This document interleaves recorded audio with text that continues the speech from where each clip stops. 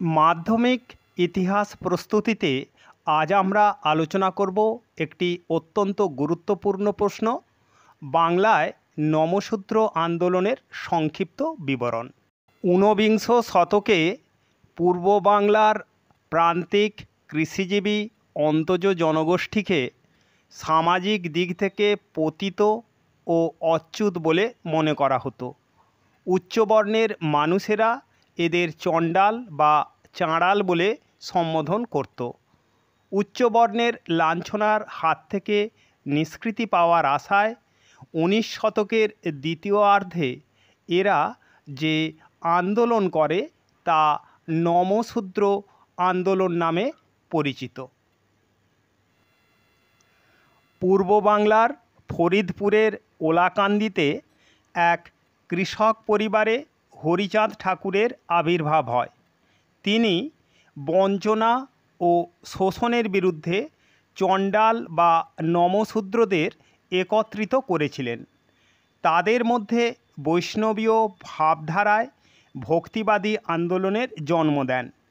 নিম্নবর্ণের দলিত নমশূদ্রদের সামাজিক স্বীকৃতি ও উন্নতি, সামাজিক বৈষম্যের অবসান এবং হৃদয়ের প্রশান্তি ছিল এই আন্দোলনের লক্ষ্য।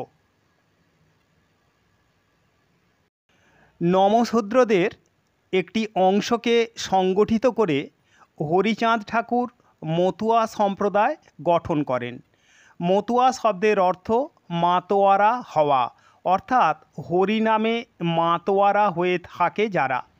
তার নির্দেশিত আচরণবিধি মতুয়াদের পালন করতে হয়, যা দ্বাদশ আজ্ঞা নামে পরিচিত। তিনি মতুয়াদের ব্রাহ্মণ, জমিদার ও পুরোহিতদের অত্যাচার, অনাচারের বিরুদ্ধে আন্দোলনে উৎসাহিত করেন। তিনি নমশূদ্রদের মধ্যে শিক্ষা প্রসারের বিশেষ উদ্যোগ নিয়েছিলেন। তাঁর ভাষায় খাও বা না খাও, তাতে ক্ষতি নেই। ছেলেপুলেকে লেখাপড়া শেখাও। হরিচাঁদ ঠাকুরের মৃত্যুর পর তাঁর পুত্র গুরুচাঁদ ঠাকুর ধর্মগুরুর পদ লাভ করেন।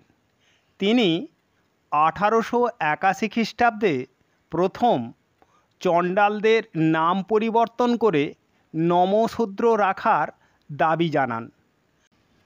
উনিশশো এগারো খ্রিস্টাব্দের আদমশুমারিতে অপমানজনক চণ্ডাল নামের পরিবর্তে এরা নমশূদ্র নামে পরিচিত হয়। উনিশশো আট খ্রিস্টাব্দে নমশূদ্রদের নিজস্ব সংগঠন তৈরি হয়। নমশূদ্র সংগঠনের মুখপত্র পতাকা পত্রিকা প্রকাশ করে নমশূদ্র নেতা রায়চরণ বিশ্বাস জাতি ব্যবস্থায় নিজেদের ব্রাহ্মণ গোষ্ঠীভুক্ত বলে দাবি করেন। গুরুচাঁদ ঠাকুরের সভাপতিত্বে আঠারোশো একাশি খ্রিস্টাব্দে নমশূদ্রদের প্রথম সম্মেলন খুলনার দত্তডাঙ্গায় অনুষ্ঠিত হয়েছিল। তিনি নমশূদ্রদের শিক্ষার উদ্দেশ্যে ফরিদপুরে প্রাথমিক ও উচ্চ মাধ্যমিক বিদ্যালয় স্থাপন করেন। উনিশশো সাতচল্লিশ খ্রিস্টাব্দে স্বাধীনতা ও দেশভাগের সময় পূর্ব বাংলা পূর্ব পাকিস্তান নামে ইসলামিক রাষ্ট্রে পরিণত হলে নমশূদ্রদের ওপর বিভৎস দমন পীড়ন ও অত্যাচার নেমে আসে। তারা দলে দলে উদ্বাস্তু হয়ে পশ্চিমবঙ্গে, বিশেষ করে উত্তর চব্বিশ পরগনার বনগায় এসে উপস্থিত হয়। বিংশ শতকে নমশূদ্রদের মধ্যে নানা সংগঠন গড়ে উঠেছিল, যেমন Namasudra welfare association, Bengal Namasudra association Bengal depressed class association ইত্যাদি। আজকে আমরা যে গুরুত্বপূর্ণ প্রশ্নটি আলোচনা করব, সেটি হল মানুষ, প্রকৃতি ও শিক্ষার সমন্বয় বিষয়ে রবীন্দ্রনাথের চিন্তার সংক্ষিপ্ত পরিচয় অথবা রবীন্দ্রনাথ ঠাকুরের শিক্ষা চিন্তা ও শান্তিনিকেতন ভাবনার সংক্ষিপ্ত পরিচয়। প্রশ্নটি দু হাজার আঠারো এবং কুড়িতে এসেছিল। ব্রিটিশ ভারতে প্রচলিত ঔপনিবেশিক শিক্ষা ব্যবস্থার সঙ্গে শিক্ষার্থীর প্রাণের কোনো সম্পর্ক ছিল না বলে রবীন্দ্রনাথ মনে করতেন। তার মতে, দেশের সাধারণ মানুষ ও প্রকৃতি চর্চা ভিন্ন, শিক্ষালাভ অসম্পূর্ণ। রবীন্দ্রনাথ মনে করতেন শিক্ষার মূল লক্ষ্য হবে শিশুর স্বাভাবিক বুদ্ধি ও কল্পনার অবাধ বিকাশ ঘটানো এবং সেই সঙ্গে তার আত্ম উপলব্ধি তৈরি করা। মানুষের মনের অভ্যন্তরের মানুষটিকে পরিচর্যা করে খাঁটি মানুষ বানানোর প্রচেষ্টাই শিক্ষা। আশ্রমের রূপ ও বিকাশ নামক প্রবন্ধে রবীন্দ্রনাথ বলেছেন, বই পড়াটাই শেখা, এই ধারণা যেন ছাত্রদের মধ্যে না জন্মায়। শিক্ষা হবে প্রতিদিনের জীবনযাত্রার একটি অঙ্গ, চলবে তার সঙ্গে এক তালে, এক সুরে। রবীন্দ্রনাথ প্রকৃতির খোলামেলা পরিবেশে মাতৃভাষায় শিক্ষাদানের পক্ষপাতী ছিলেন। তিনি মনে করতেন প্রকৃতির সংস্পর্শেই শিশু মনের সঠিক বিকাশ সম্ভব। কারণ শিশু শৈশবে মস্তিষ্কের চাইতে ইন্দ্রিয়ানুভূতির মাধ্যমে অধিক শিক্ষা লাভ করে। তাই রবীন্দ্রনাথ শহরের কোলাহলপূর্ণ পরিবেশ ত্যাগ করে প্রাকৃতিক পরিবেশে গাছতলায় শিক্ষাদানের কথা বলেন। শিক্ষা সমস্যা প্রবন্ধে রবীন্দ্রনাথ বলেন, বিদ্যালয়ে অবশ্যই কিছুটা জমি থাকবে, যেখানে ছাত্ররা চাষের সাহায্যের সাথে গোপালনও করবে। প্রাচীন ভারতের আশ্রম ও গুরুকুলকে রবীন্দ্রনাথ আধুনিক জীবনে আনতে চেয়েছিলেন, যেখানে প্রতিটি পদক্ষেপ পালিত হবে নিয়ম ও নিষ্ঠার সঙ্গে। আশ্রম ও গুরুকুলে থেকেও ছাত্ররা যাতে স্বাধীনতা বা মুক্তির স্বাদ এবং আত্মকর্তৃত্বের অধিকার পায়, সেদিকেও তিনি দৃষ্টি দিয়েছিলেন। মুক্ত চিন্তার বিকাশের ক্ষেত্রে রবীন্দ্রনাথ শিক্ষার মিলন শীর্ষক প্রবন্ধে পাশ্চাত্যের শিক্ষা ও আদর্শের সঙ্গে ভারতীয় আদর্শের সমন্বয়ের কথা বলেন। তিনি পাশ্চাত্য জগতের জ্ঞানভাণ্ডারকে আয়ত্ত করার আহ্বান জানান। ঔপনিবেশিক শিক্ষা ব্যবস্থার প্রবল সমালোচনা করে রবীন্দ্রনাথ বিকল্প শিক্ষা ধারণার প্রতিষ্ঠান গঠনের চিন্তাভাবনা করেন। পরিপূর্ণ মানব সত্তাকে লালন করে দেহ, মন ও আত্মার সমন্বয় সাধনের মাধ্যমে শিশুকে জাতির উপযোগী, দক্ষ ও কল্যাণকামী সদস্য হিসেবে গড়ে তোলার জন্য শান্তিনিকেতনের মধ্যে তিনি উনিশশো এক খ্রিস্টাব্দে ব্রহ্মচর্যাশ্রম বা পাঠভবন স্কুল নির্মাণ করেন। শান্তিনিকেতনের আশ্রমিক বিদ্যালয় পাঠভবনকে আরও বৃহত্তর রূপ দিতে রবীন্দ্রনাথ উনিশশো একুশ খ্রিস্টাব্দে এটিকে মহাবিদ্যালয়ে পরিণত করেন। উনিশশো তেরো খ্রিস্টাব্দে নোবেল পুরস্কার থেকে প্রাপ্ত অর্থে তিনি এটি গড়ে তোলেন। তিনি এর নাম দিয়েছিলেন বিশ্বভারতী। বিশ্বভারতীর সংকল্প মন্ত্র যত্র বিশ্বং ভবতে এক অনিরম। উনিশশো একান্ন খ্রিস্টাব্দে ভারত সরকার বিশ্বভারতীকে পূর্ণ বিশ্ববিদ্যালয়ের মর্যাদা দিলে। এর নাম হয় বিশ্বভারতী বিশ্ববিদ্যালয়। বিশ্বভারতীতে কলাবিদ্যার পাশাপাশি অর্থশাস্ত্র, কৃষিতত্ত্ব, স্বাস্থ্যবিদ্যা, পল্লী উন্নয়ন সহ সমস্ত ব্যবহারিক বিজ্ঞানের পাঠদানের মাধ্যমে প্রাচ্য ও পাশ্চাত্যের শিক্ষার সমন্বয় ঘটানো হয়। আজ আমরা আলোচনা করব একটি অত্যন্ত গুরুত্বপূর্ণ প্রশ্ন।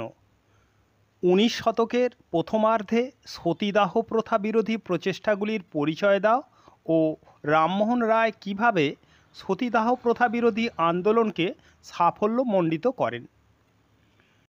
উনিশ শতকের প্রথমার্ধে সতীদাহ প্রথা বিরোধী প্রচেষ্টা সমূহ ঊনবিংশ শতাব্দীতে ভারতের হিন্দু সমাজে নারী নির্যাতন ও নিষ্ঠুরতার অন্যতম নিদর্শন হল সতীদাহ প্রথা।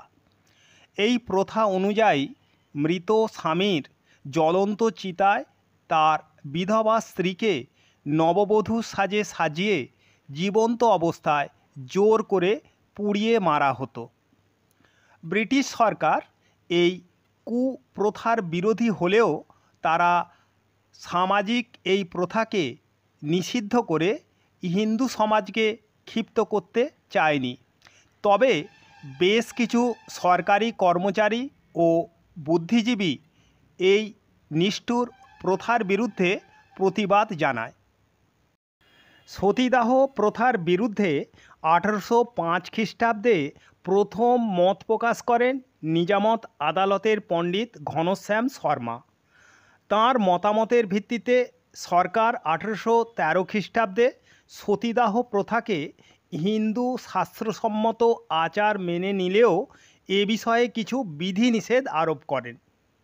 যেমন, সতী হওয়ার জন্য কাউকে জোর করা যাবে না, সতী হওয়ার ক্ষেত্রে বয়স কমপক্ষে ষোলো বছর হতেই হবে, গর্ভবতী নারী বা শিশু সন্তানের মা সতী হতে পারবে না, সতী হওয়ার জন্য ম্যাজিস্ট্রেটের অনুমতি দরকার। সতীদাহ প্রথাকে কেন্দ্র করে শিক্ষিত মহলেও এ সময়ে আলোচনা ও বিতর্ক শুরু হয়। মৃত্যুঞ্জয় বিদ্যালঙ্কার সুপ্রিম কোর্টের প্রধানকে জানান, সতীদাহ প্রথা সম্বন্ধে হিন্দু শাস্ত্রে কোনো নির্দেশ নেই। আঠারোশো আঠারো খ্রিস্টাব্দে কলকাতা সুপ্রিম কোর্টের বিচারপতি জন এনস্টুয়ার কলকাতার মধ্যে সতীদাহ প্রথাকে নিষিদ্ধ ঘোষণা করেন। খ্রিস্টান মিশনারিরাও সতীদাহ প্রথার বিরোধিতা করে সমাচার দর্পণ পত্রিকায় লেখালেখি শুরু করেন। শ্রীরামপুর মিশনারি সতীদাহ প্রথার বিরুদ্ধে বিভিন্ন তথ্য সংগ্রহ করে এই প্রথা যে শাস্ত্রসম্মত নয়, তা যুক্তি দিয়ে প্রমাণ করেন। উইলিয়াম কেরি, গভর্নর জেনারেল ওয়েলেসলিকে এই কুপ্রথা বন্ধের আবেদন জানান। সতীদাহ প্রথা বিরোধী আন্দোলনকে সাফল্যমণ্ডিত করতে রাজা রামমোহন রায়ের ভূমিকা। সতীদাহ প্রথার বিরুদ্ধে সর্বপ্রথম জোরালো প্রতিবাদ আন্দোলন গড়ে তোলেন রাজা রামমোহন রায়। অধ্যাপক দিলীপ কুমার বিশ্বাসের মতে, সতীদাহ প্রথার বিরুদ্ধে সাধারণ মানুষের মধ্যে চেতনা বৃদ্ধির জন্য রামমোহন তিনটি পদ্ধতি গ্রহণ করেন। এক, বাংলা ও ইংরেজি পুস্তিকা প্রকাশ করে এই প্রথাকে অশাস্ত্রীয় প্রমাণ করা। দুই, সংবাদপত্র সংবাদ কৌমুদীর পৃষ্ঠায় এই কুপ্রথার বিরুদ্ধে লেখনী ধারণ করা এবং তিন, শ্মশানে শ্মশানে ঘুরে স্বামীর চিতায় আত্মহনন করতে ইচ্ছুক বিধবাদের বুঝিয়ে ফিরিয়ে আনা। রামমোহন মনুসংহিতা থেকে উদ্ধৃতি দিয়ে প্রমাণ করেন সতীদাহ প্রথা শাস্ত্রসম্মত নয়। তাদের সংযমী জীবনের কথা বলা হয়েছে, তাদের হত্যা বা সহমরণের কোনো বিধান নেই।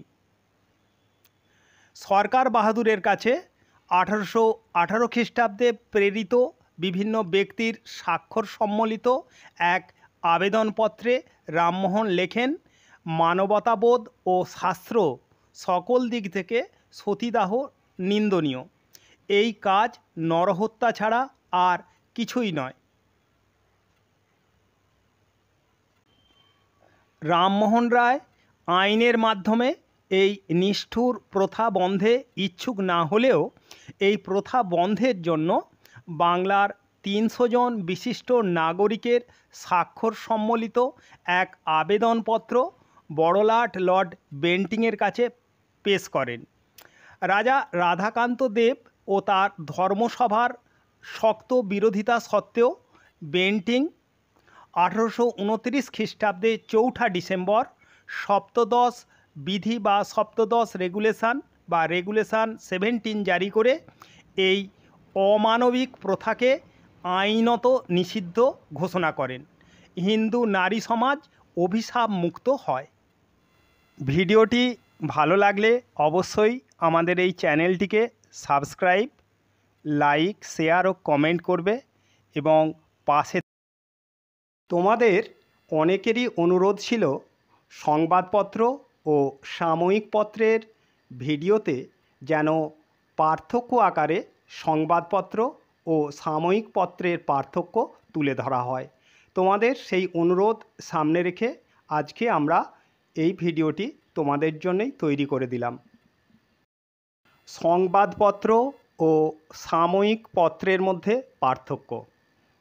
এক দৈনিক বা প্রত্যহ প্রকাশিত পত্রপত্রিকাকে দৈনিক সংবাদপত্র বা নিউজ পেপার বলে। অন্যদিকে, নির্দিষ্ট ব্যবধানে যথা সাপ্তাহিক, পাক্ষিক, মাসিক, ত্রৈমাসিক, এমনকি বার্ষিক সংখ্যায় প্রকাশিত পত্রপত্রিকাকে সাময়িক পত্র বা ম্যাগাজিন বলে। দুই দৈনিক ঘটে যাওয়া ঘটনার বিবরণ থাকে সংবাদপত্রে। অর্থাৎ সংবাদপত্র মূলত প্রতিবেদনমূলক।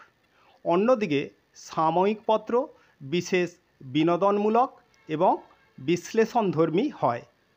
তিন, সংবাদপত্র সস্তা দামের কাগজে বাঁধাইহীনভাবে প্রকাশিত হয়। অপরদিকে সাময়িক পত্র তুলনামূলক দামি কাগজে বাঁধাই আকারে প্রকাশিত হয়। এবং চার, দৈনিক সংবাদপত্রের উদাহরণ হল সংবাদ প্রভাকর। অপরদিকে, সাময়িক পত্রের উদাহরণ হল বঙ্গদর্শন, সম্প্রকাশ প্রভৃতি। এই ধরনের নতুন নতুন ভিডিও পেতে আজই চ্যানেলটিকে সাবস্ক্রাইব করো, কমেন্ট, শেয়ার এবং লাইক করে আমাদের চ্যানেলের পাশে থাকো। লক্ষ্মীর ভাণ্ডার কি? বা লক্ষ্মীর ভাণ্ডার কেন প্রতিষ্ঠিত হয়? বা লক্ষ্মীর ভাণ্ডার প্রতিষ্ঠার উদ্দেশ্য কী ছিল? ভারতের অগ্নিযুগের অগ্নিকন্যা সরলা দেবী চৌধুরানী উনিশশো চার খ্রিস্টাব্দে লক্ষ্মীর ভাণ্ডার প্রতিষ্ঠা করেন। লক্ষ্মীর ভাণ্ডার প্রতিষ্ঠার উদ্দেশ্য ছিল, এক, বাংলায় বিপ্লববাদের প্রসারের জন্য প্রচুর অর্থের প্রয়োজন ছিল। সেই অর্থ সংগ্রহের উদ্দেশ্যে সরলা দেবী চৌধুরানী লক্ষ্মীর ভাণ্ডার প্রতিষ্ঠা করেন। পাশাপাশি স্বদেশপ্রেম ও স্বদেশ চেতনা বৃদ্ধি ছিল এই প্রতিষ্ঠানের অন্যতম উদ্দেশ্য। দুই, উনিশশো পাঁচ খ্রিস্টাব্দে বঙ্গভঙ্গ বিরোধী আন্দোলনের সময় লক্ষ্মীর ভাণ্ডার স্বদেশি তহবিল হয়ে ওঠে। স্বদেশি পণ্যের যোগান ও বিক্রি ছিল এই প্রতিষ্ঠানের অন্যতম উদ্দেশ্য।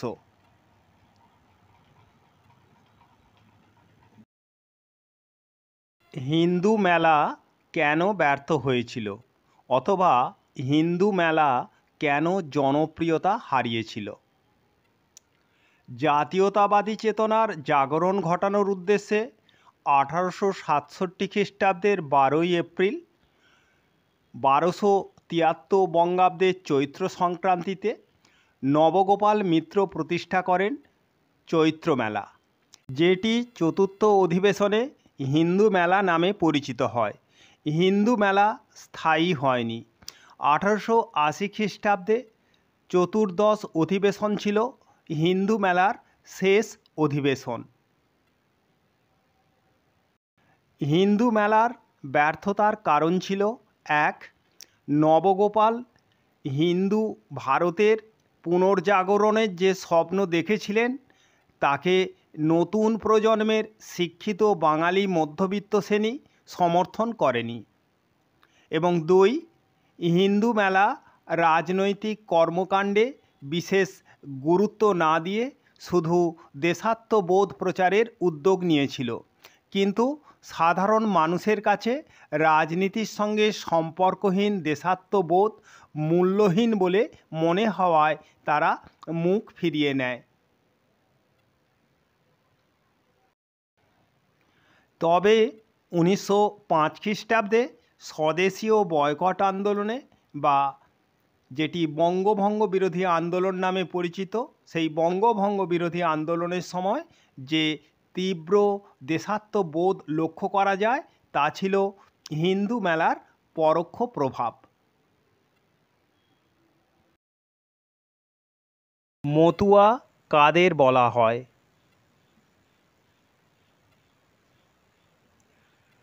বর্তমান বাংলাদেশের গোপালগঞ্জ জেলার ওড়াকান্দি গ্রামে হরিচাঁদ ঠাকুর,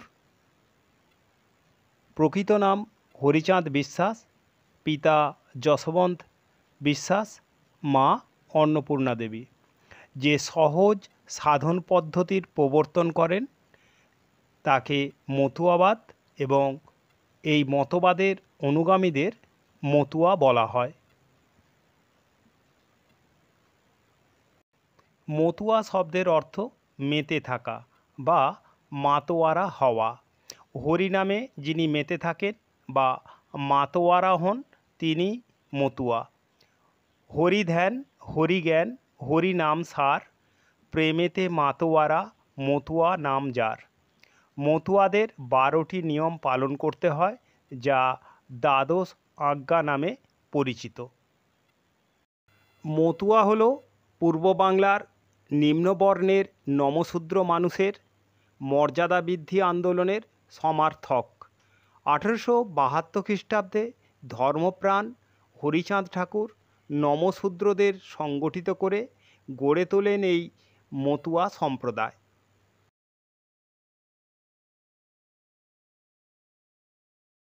প্রীতিলতা ওয়াদেদার স্মরণীয় কেন? ভারতের মুক্তি সংগ্রামের প্রথম মহিলা বিপ্লবী শহীদ প্রীতিলতা ওয়াদেদার। প্রীতিলতার পিতা জগৎবন্ধু ওয়াদেদার, মা প্রতিভা দেবী। আসল পদবী দাশগুপ্ত, উপাধি ওয়াদেদার, যা তার পূর্বপুরুষকে বাংলার নবাব দিয়েছিলেন। প্রীতিলতার ডাকনাম রানী, ছদ্মনাম ফুলতার চট্টগ্রামের মেধাবী ছাত্রী, কলকাতায় বেথুন কলেজ থেকে দর্শন শাস্ত্রে স্নাতক হন। ঢাকায় আইএ পড়ার সময় লীলা রায়ের দীপালি সংঘ ও কলকাতার বেথুন কলেজে পড়ার সময় কল্যাণী দাসের ছাত্রী সংঘের সঙ্গে যুক্ত হন প্রীতিলতা। তিনি চট্টগ্রামের নন্দনকানন স্কুলের প্রধান শিক্ষিকা ছিলেন। কলকাতা থেকে চট্টগ্রামে ফিরে এসে প্রীতিলতা মাস্টারদা সূর্য সেনের সান্নিধ্যে আসেন এবং উনিশশো আঠাশ খ্রিস্টাব্দে তিনি মাস্টারদা প্রতিষ্ঠিত ইন্ডিয়ান রিপাবলিকান আর্মির সদস্য হন।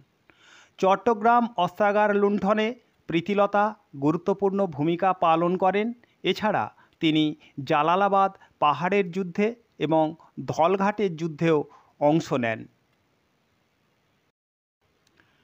একুশ বছর বয়সী বীরাঙ্গনা, প্রীতিলতা, পাঞ্জাবি পুরুষের ছদ্মবেশে পনেরো জন বিপ্লবীর একটি দল নিয়ে উনিশশো বত্রিশ খ্রিস্টাব্দের চব্বিশে সেপ্টেম্বর শনিবার রাত দশটা পঁয়তাল্লিশ মিনিটে চট্টগ্রামের পাহাড়তলির ব্রিটিশদের প্রমোদ কেন্দ্র ইউরোপিয়ান ক্লাব আক্রমণ করেন।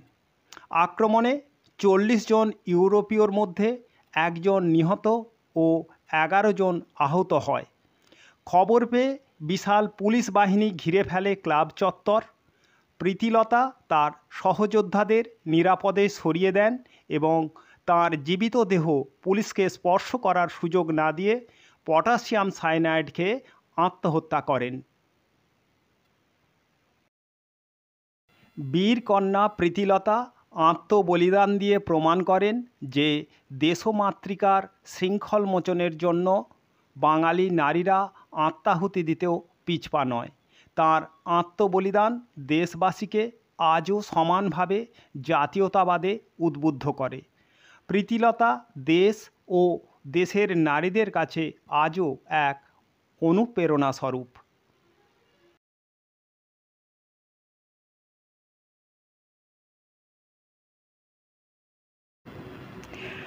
নেহেরু লিয়াকত চুক্তি বা দিল্লি চুক্তি কি?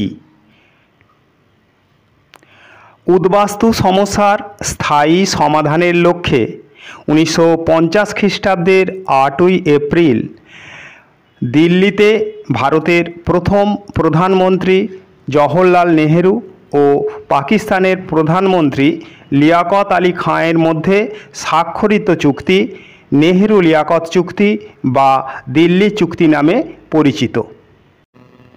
নেহেরু লিয়াকত চুক্তির শর্ত। এক, ভারত ও পাকিস্তান দুই দেশের সংখ্যালঘুরা নিজ নিজ রাষ্ট্রের প্রতি অনুগত থাকবে ও নিজের দেশের কাছেই প্রতিকার চাইবে। দুই, উদ্বাস্তুরা তাদের সমস্ত অস্থাবর সম্পত্তি সঙ্গে নিয়ে যাওয়ার অধিকার পাবে এবং স্থাবর ও অন্যান্য সম্পত্তি বিক্রি করে তা থেকে প্রাপ্ত অর্থ নিয়ে যাওয়ার অধিকার পাবে। তিন, পূর্ববঙ্গ, পশ্চিমবঙ্গ ও আসাম থেকে কেউ অন্য দেশে শরণার্থী হতে চাইলে তাকে সাহায্য করা হবে। চার, ভারত ও পাকিস্তান উদ্বাস্তু সমস্যার কারণ ও সংখ্যা নির্ধারণের জন্য অনুসন্ধান কমিটি ও সংখ্যালঘু কমিশন গঠন করবে এবং পাঁচ, পশ্চিমবঙ্গ ও পূর্ববঙ্গের মন্ত্রিসভায় সংখ্যালঘু প্রতিনিধি থাকবে। নেহেরু লিয়াকত চুক্তির পরিণতি। নেহেরু লিয়াকত চুক্তি বা দিল্লি চুক্তি উদ্বাস্তু সমস্যার স্থায়ী সমাধানে ব্যর্থ হয়। ধোঁকাবাজ পাকিস্তান এই চুক্তির শর্ত অগ্রাহ্য করে পূর্ববঙ্গের সংখ্যালঘু হিন্দুদের ওপর তীব্র উৎপীড়ন চালায়। উনিশশো ছাপ্পান্ন খ্রিস্টাব্দের সরকারি রিপোর্ট অনুসারে প্রায় পঞ্চাশ লক্ষ হিন্দু উদ্বাস্তু হয়ে ভারতে চলে আসেন। যদিও সঠিক পরিসংখ্যান অনেক অনেক বেশি। ভারতের প্রথম স্বরাষ্ট্রমন্ত্রী দূরদর্শী সর্দার বল্লভভাই প্যাটেল এই চুক্তি স্বাক্ষর করতে নেহেরুকে নিষেধ করেছিলেন। এই চুক্তির শর্তগুলি শুধু একতরফাভাবে ভারতবর্ষই অনুসরণ করছে।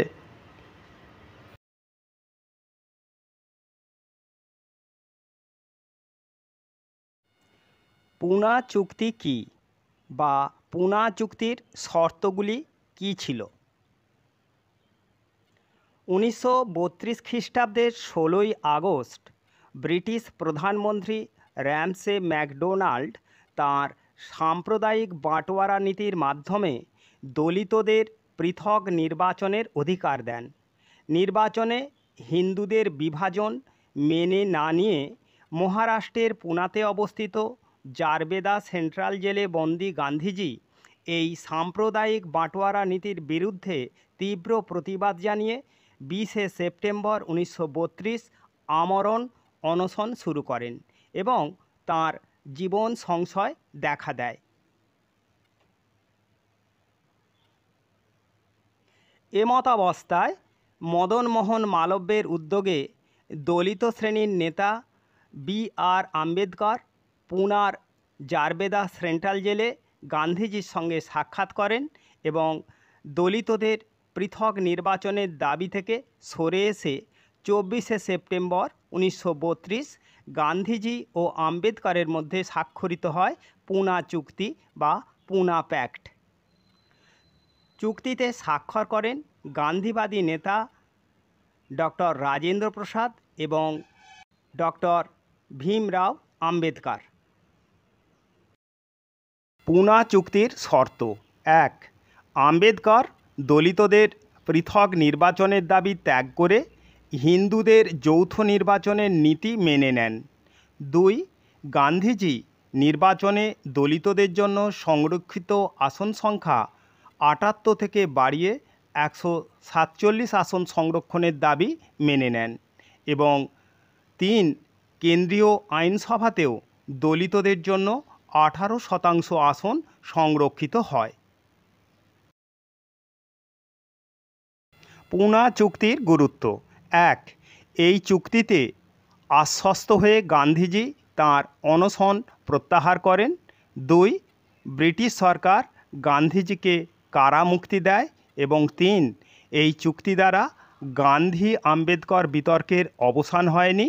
তাই সংবিধান খসড়া কমিটির সভাপতি হয়ে আম্বেদকর দলিতদের জন্য আর্থসামাজিক প্রাধান্য দিতে সংরক্ষণ ব্যবস্থার প্রবর্তন করেন।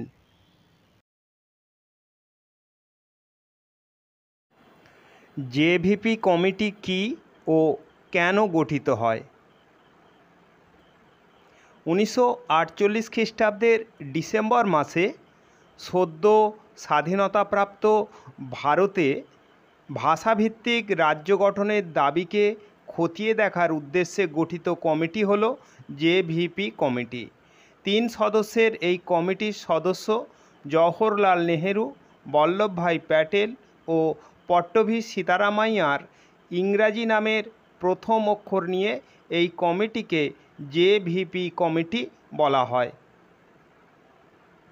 উনিশশো ঊনপঞ্চাশ খ্রিস্টাব্দের পয়লা এপ্রিল এই কমিটি তার রিপোর্টে ভাষাভিত্তিক রাজ্য গঠনের দাবিকে নাকচ করে দিয়ে বলে, ভাষাভিত্তিক রাজ্য গঠন করলে ভারতের জাতীয় ঐক্য বিঘ্নিত হবে, আঞ্চলিকতা বৃদ্ধি পাবে, প্রশাসনিক কাজ ব্যাহত হবে, যা সদ্য স্বাধীন ভারতের পক্ষে কাম্য নয়।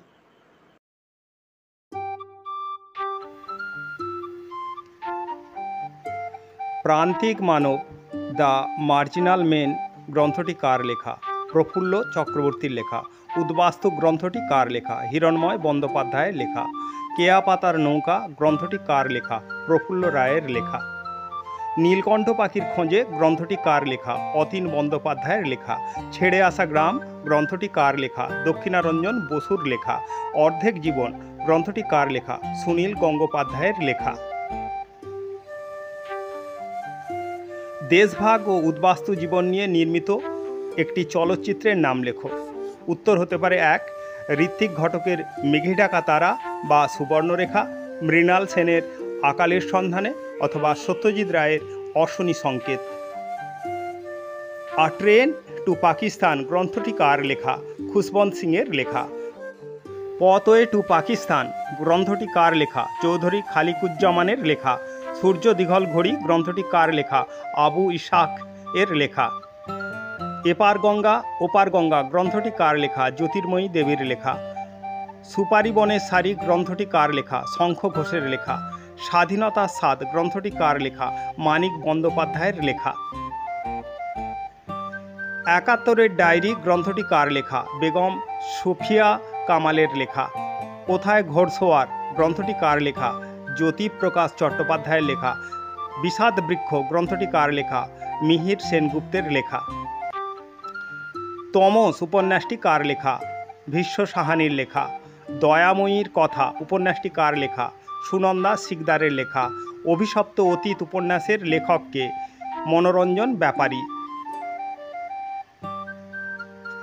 আধার মানিক, গ্রন্থটি কার লেখা? মহাশ্বেতা দেবীর লেখা। পিতামহী, গ্রন্থটি কার লেখা? শান্তা সেনের লেখা। সেদিনের কথা, গ্রন্থটি কার লেখা? মণিকুন্তলা সেনের লেখা।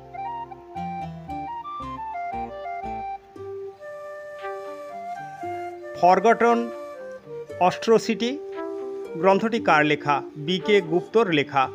দ্যাশ থেকে দেশ, গ্রন্থটি কার লেখা? সীমা দাসের লেখা।